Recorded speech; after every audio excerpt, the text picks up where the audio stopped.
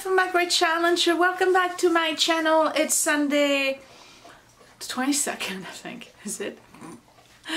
Man, if I'm not oriented times three, where are we going? um, okay, it's Sunday, that I know. I can't remember the number. It's all a blur. I'm going to walk the dogs and have breakfast. Um, probably gonna have some oatmeal today because um, I have eggs, but I don't have toast. So I'm gonna have to um, do something else. I'll do uh, oatmeal with banana, something like that. I'm dying for coffee right now. But I do have to walk the dogs, so I'm gonna do that. And uh, today's the day that I'm painting my new sewing desk. Um, he's drinking, that's what, you know, every time I film they have to drink, you get used to it. Um, I have to paint my new sewing desk, so I'm going to prime it first. I'm trying to do a good job, you know this, right? I'm trying to do as good as a job I can, because this thing is permanent. Well, to me, it's permanent. Um, there's a lot of projects I do, I kind of know that within two years it's going to be scrapped. This one, permanent, so I'm doing a good job on it. I have to prime it and I have to paint it and then uh, tomorrow at work we're all bringing in food and then we're starting to pack food into containers to distribute um, Thanksgiving meals for our patients. And uh, I'm on uh, mac and cheese duty. Everybody loves my mac and cheese and my frittata but frittata won't last too long. Uh, if we start distributing food on Monday uh, and people don't eat it right away I wouldn't give them eggs um, necessarily. So but mac and cheese can last so if you put it in the fridge so uh, request for mac and cheese I gotta make a large mac and cheese tonight so I'll probably show that. You've seen me do my mac and cheese before that's the one where I put the Ritz crackers over it and a little bit of nutmeg. So I have to do that I have to paint. If it's dry on time I'd like to make something on my machine just to get a feel of you know how it works um, and then to see whether or not I have an issue with the cables. Some people already put out the Christmas decor and I'm supposed to do my front porch with Michelle and a bunch of other gal by December 1st and I have no clue what I'm gonna do this year. I really didn't plan on decorating the front porch this year for Christmas. I'm really toning it down this year, you noticed, right? It's been very difficult with COVID and everything. Um, we got like zero people coming for Thanksgiving this year. We got zero people coming for Christmas, like most of you. And by the way, I'm ordering for Thanksgiving. Yes, I am. Mm -mm, no shame. I am not cooking. Listen, I'm working my butt off at work right now, okay? My, my admin is gone.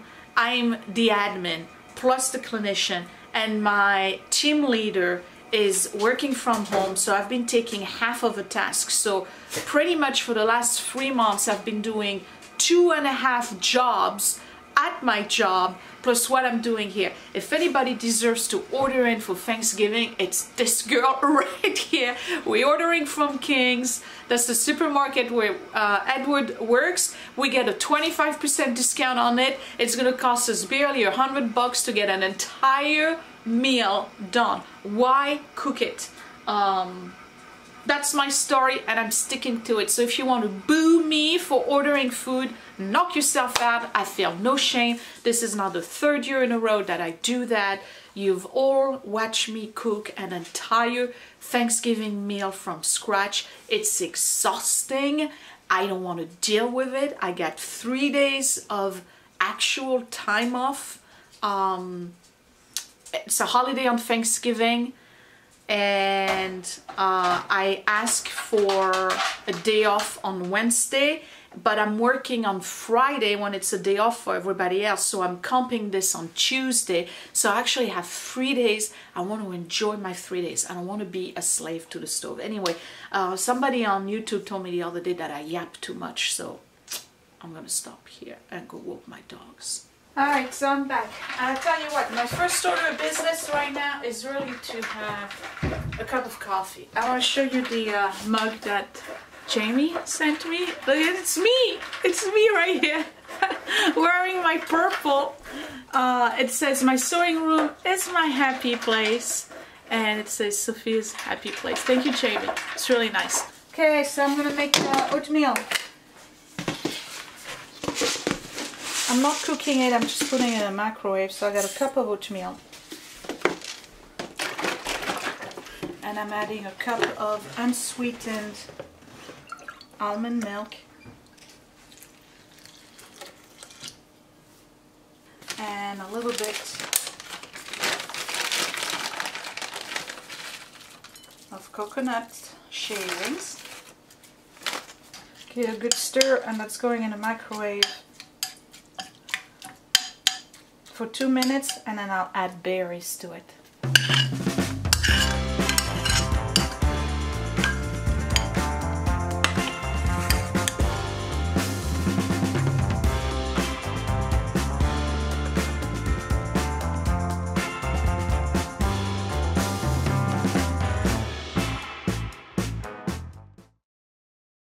So I'm back in the basement and uh, I'm going to prime and paint the desk and yesterday I played around and I put the machine on it.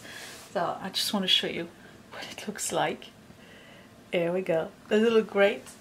This is gonna be great because I have so much room now and I can put all my stuff where I need it. I can just open my drawers get my stuff. It's the perfect height. I have enough room here for fabric. Um, you know obviously when I'm going to do large quilts I'll have to move the machine to the other table um, because you know there's not enough room here for the bulk of a large quilt. Uh, the uh, boiler went. Um, but otherwise for just regular sewing this is perfect like when I'm piecing, when I'm putting uh, a garment together I, I'm so happy. I'm so happy. Um, Okay, let's get going. I'm gonna I have enough paint left over from all the gazillion projects I've had in the past. I'm gonna start with uh, priming. I'm not gonna paint the face of the uh, uh, chests um, because they don't really need it. Nah, they don't. I'm just gonna do the side and the top and uh, do the primer first and then let it dry a little bit and then I'll do two coat of the same white that's here so it's a glossy bright white it's gonna be beautiful. So happy. So I'm starting with primer and I have some leftover primer. I'm hoping this is enough. This is a KILZ Premium Prime Sealer Stain Blocker. And the reason why I'm using a primer is because um, there's knots on the wood and there's still, believe it or not, there's still oil in that pine and over the years I've learned that the hard way. Over the years um, those little dots come out so I have to really really cover it. So I'm hoping I have enough sealer here and primer I don't know. Um, I just ditched two other containers that were very old and no good I'm just doing one coat of primer. I think that should be enough. So, let's see. I'm trying to work clean too using this cardboard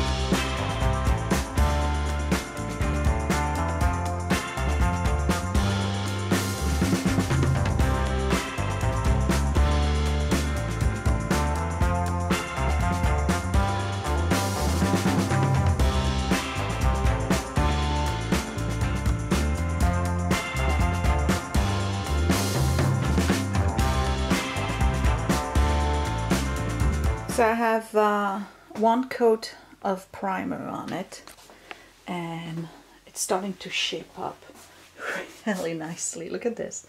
Doesn't it look like a professional desk? It looks awesome. I don't know about you, but I think it looks awesome. I'm very happy. Oh man, I can't wait to use it. So now I do have a little eek.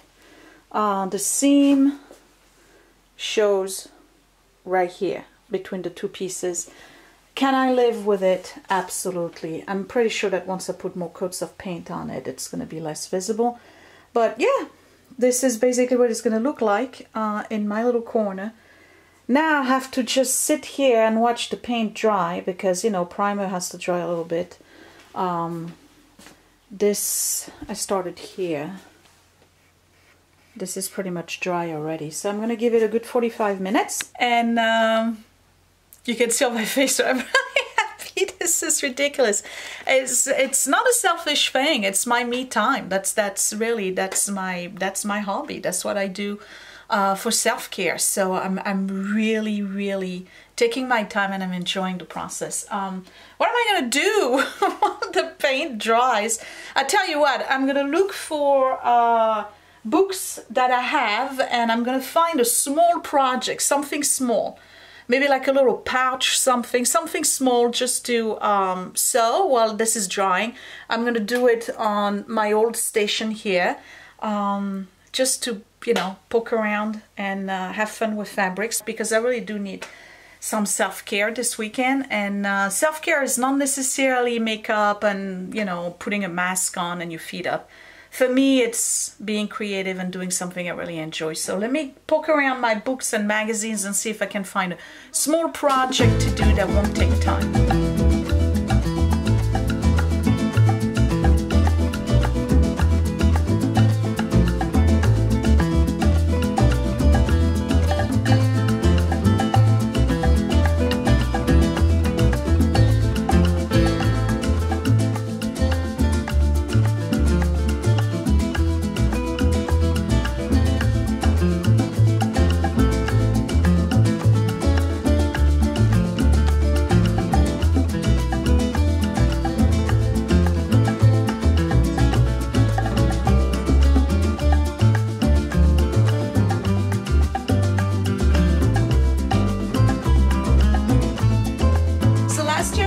Lorna in um, the UK uh, sent me a book.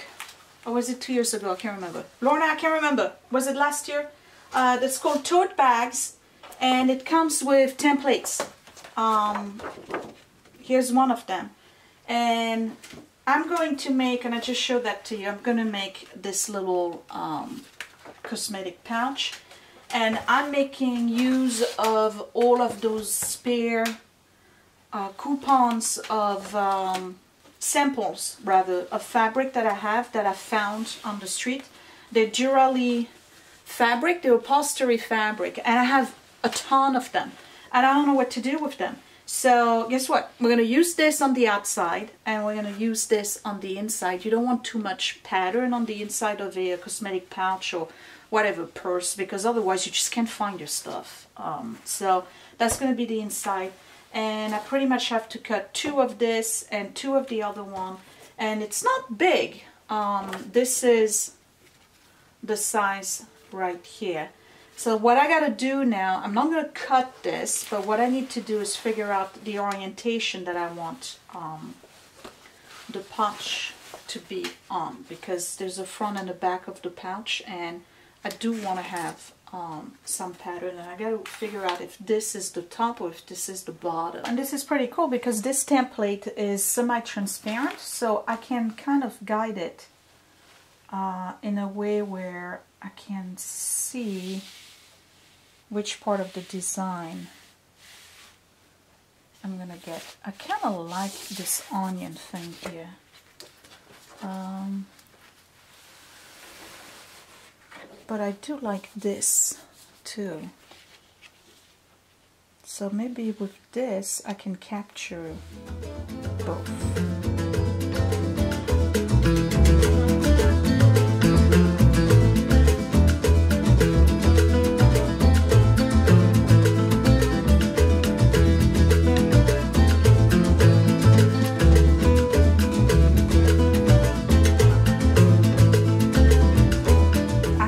This is cut.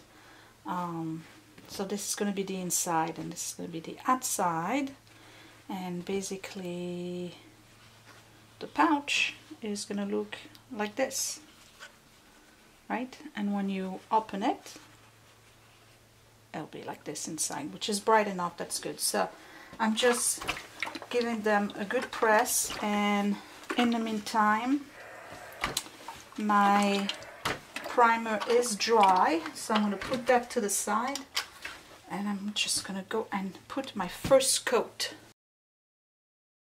For the desk I'm just using this uh, bright white uh, glossy that I have left over from a previous projects. That's a uh, um, what do you call it? Uh, Behr paint.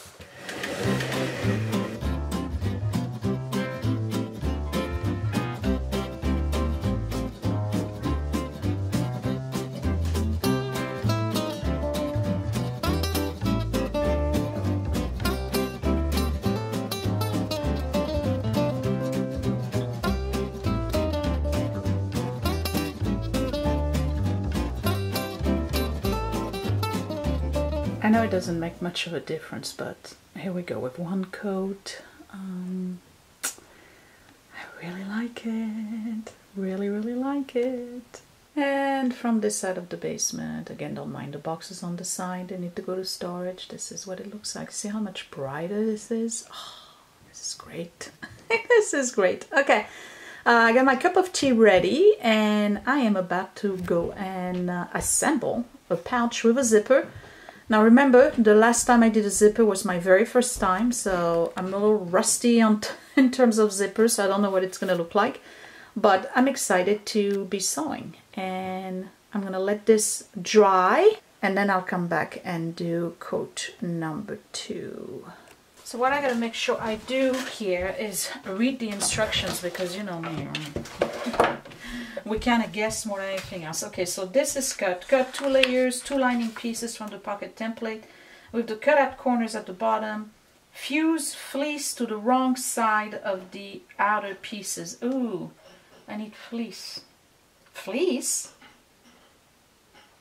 What do they mean by fleece? That can't be the same thing than us. That's got to be fusible stuff. Fuse fleece to the wrong side of the outer pieces. I don't know if I have enough fusible for this. I do. Okay. So fleece in England is interfacing. Who would have thought? Don't use your good scissors for plastic. I did it. Okay, so I gotta cut the same pieces. Alright, be right back. We're gonna uh, fuse fleece. I have no idea what's going on and I love it. I have no clue what this saying. That is great. A big challenge. Okay, we're gonna remove the walking foot here. And we're gonna put the zipper foot on because apparently we're supposed to sew the zippers first. I have a vague clue of what's supposed to happen. So here's the zipper foot and we're gonna wait. Right, I'm missing this part here. Right, so instructions. Uh, with the slider out of the way, sew the top of one outer piece to the zip tape. Uh, right side together, you may find it easier to hand stitch the open end. Well, my open end is, uh, um, it's, it's just a right size zipper. Okay, closed first. All right, so my understanding is that I'm taking this with the notches at the bottom because that's the bottom of the uh, thing. I'm taking my zipper right side together and I'm going to sew from here to there. This is just making it in terms of size. This is not ideal. I could have gone with a little bit bigger, but I'm using what I got in stock. And we're going to go all the way up there. And this is going right here.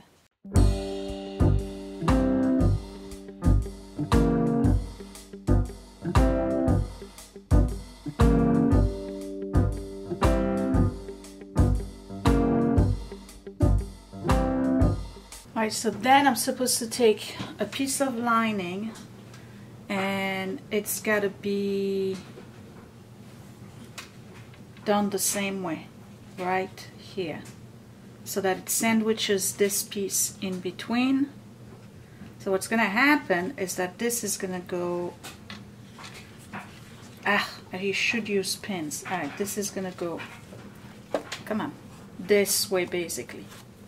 I think I got it. Alright and then we'll do the same thing on the other side. That's my understanding. Mm, I don't know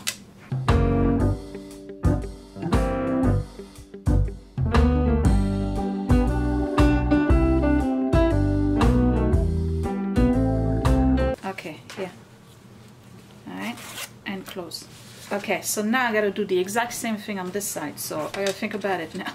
Others won't do that. Because uh, it just says repeat on the other side, so I gotta think about it.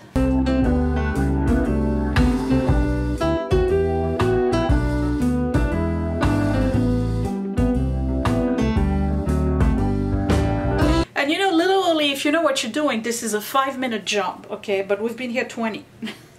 what did I do now? what did I do? Oh, here we go. Okay. All right. So now we got a pouch front, a pouch back, and when you open it,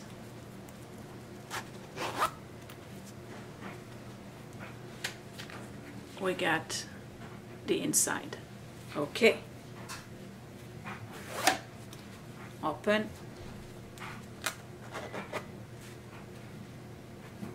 it's gotta be uh, I got some thread here I gotta get rid of but alright so the next one I make I'll move the stitching a little bit away more away from the uh, uh, zipper I got a whole bunch of threads inside the zipper I gotta take my um,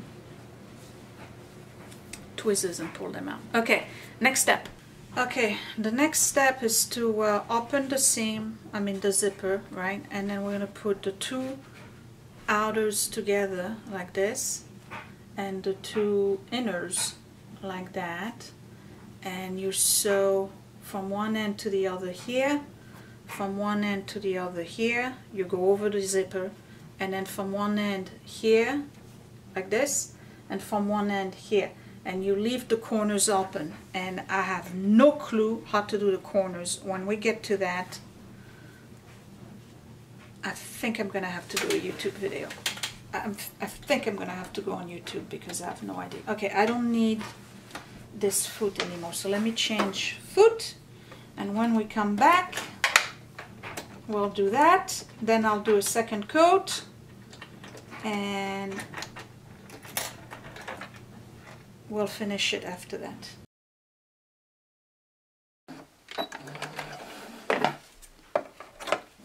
Now, if I was doing all the way around, I would not be able to turn it and flip it, right? So this is the last piece here that's still open. I'm only going to do a little bit of it. It says to leave a turning gap of about 10 centimeters or 4 inches. So that's about here.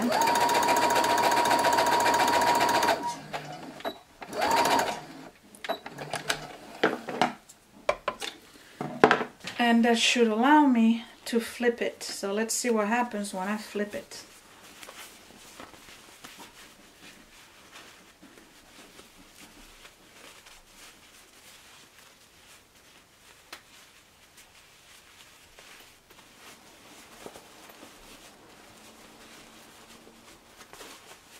Remember I didn't do the corners yet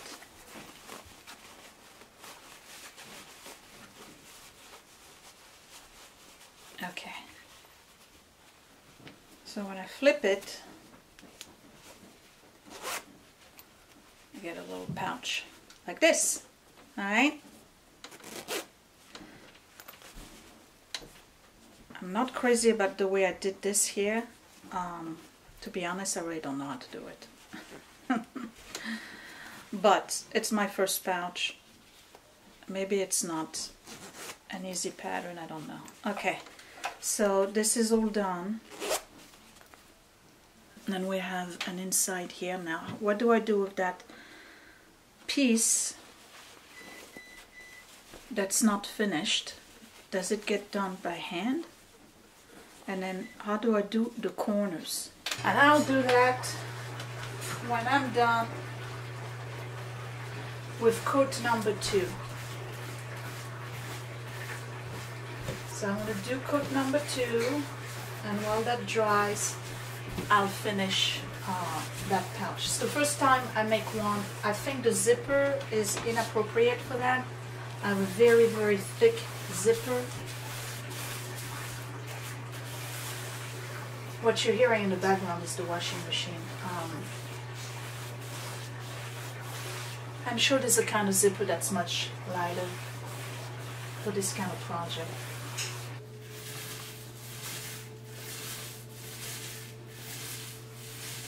So I'm ready to make the corners here. Um, this pouch is, I mean, it's functional, it's a pouch. I'm just not, yeah, I have paint on my fingers. I'm just not crazy about the way it looks. Um, I think the zipper is too big. All right, so you take this, you basically open it this way. All right. Uh, wait, this way and you flatten this. One this way one that way. Alright. And then stitch right here. This way. Let's see what the corners look like now. Okay. Alright. Hey I got corners. Okay. So that's good now, I did the same thing with this one right here, but this apparently I got to do by hand. Um, I got to stitch all of this by hand. We're to assume it's been done by hand.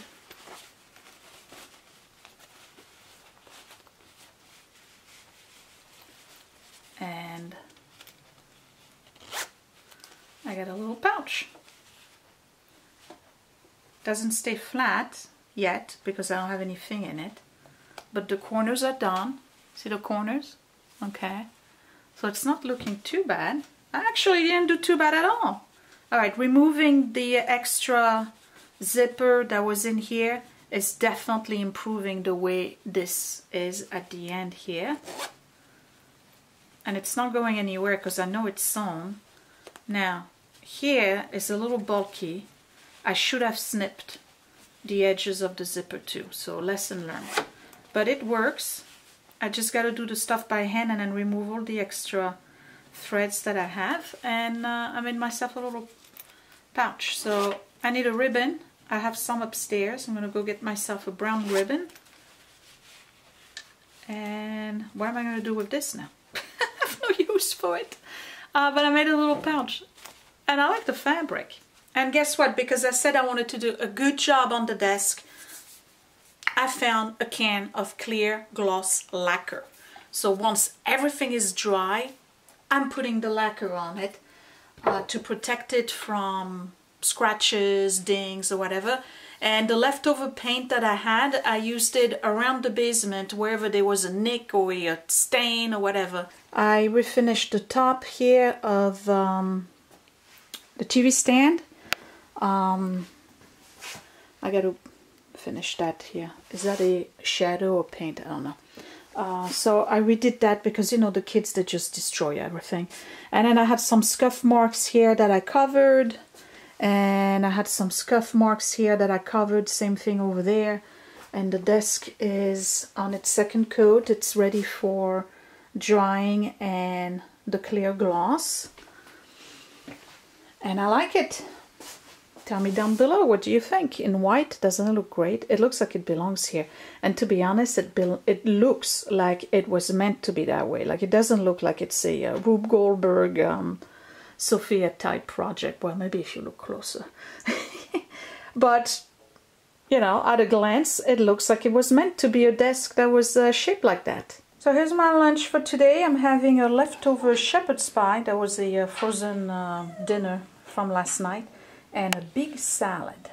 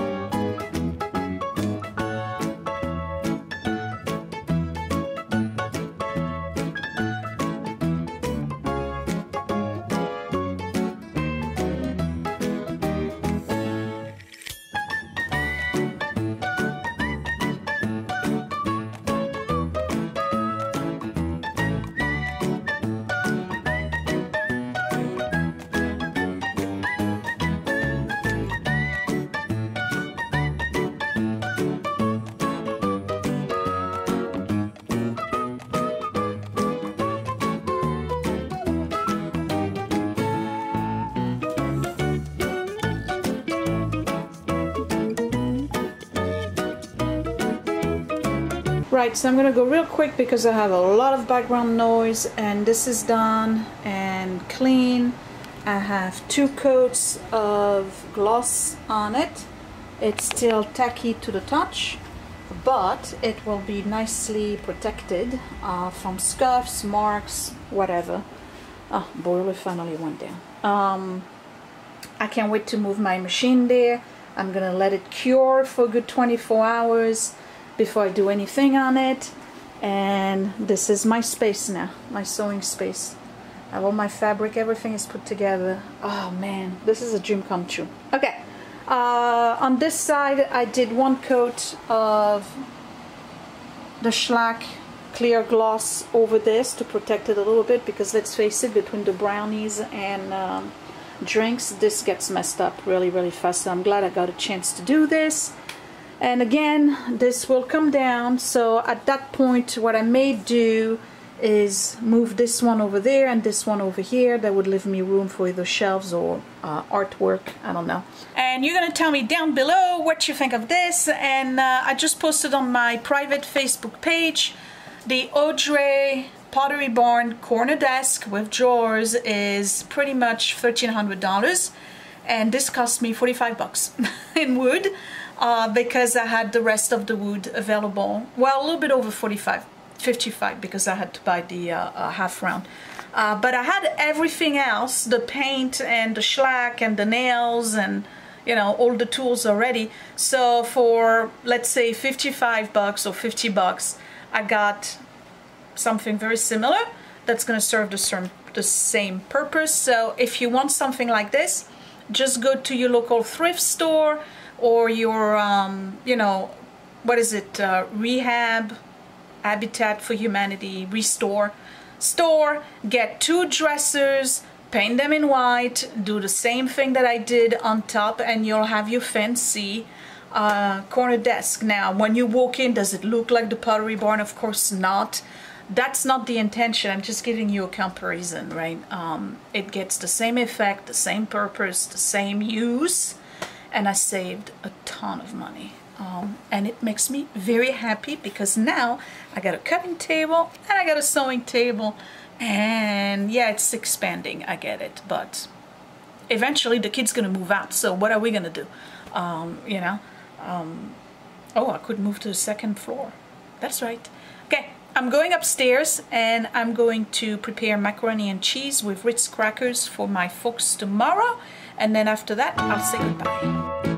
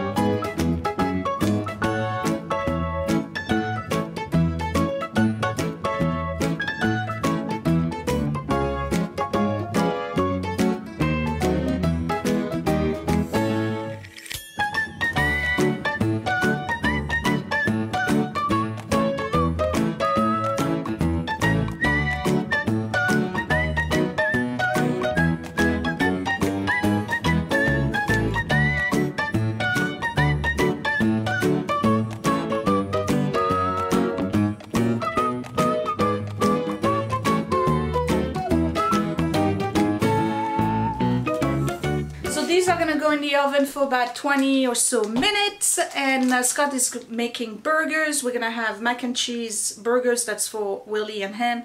Edward's at work until 10.30. I'm gonna have a salad with a tiny bit of macaroni, of, with a tiny bit of macaroni and cheese. And now I have to clean all of this mess over here, put everything back together. Give me a thumbs up if you like my desk downstairs. I don't know what I'm going to do on Tuesday, Wednesday. Well, Thursday is Thanksgiving, so obviously there's going to be a Thanksgiving um, decorated table. Um, but there's going to be several videos coming up next um, after this one. Um, I'm I don't know if I'm going to edit on Tuesday well, probably for this video, that's gonna come out on Tuesday or Wednesday. Uh, but anyway, I got videos all the way up to the weekend now because I'm gonna be doing videos on Tuesday, Wednesday, and Thursday. So I see you guys more than twice um, this week. I hope you're happy about that. And I will see you next time, okay? Thanks for watching. Bye! Hey, it's me, and guess what? Click that thumbs up if you really like this video. Thumbs down twice if you didn't. You can also share my video if you really, really liked it, or save it to watch later. Also, you can subscribe to my channel, but don't forget to click that bell button so you are always notified when I post a new video. Thank you for watching!